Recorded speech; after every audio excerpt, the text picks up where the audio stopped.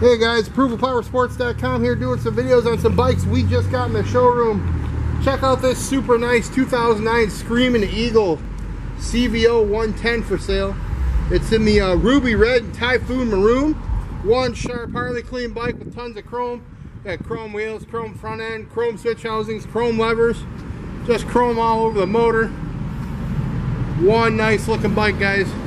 That's a 2009 CVO with that 110 motor. Give us a call. We'll get it done. 810 648 9500.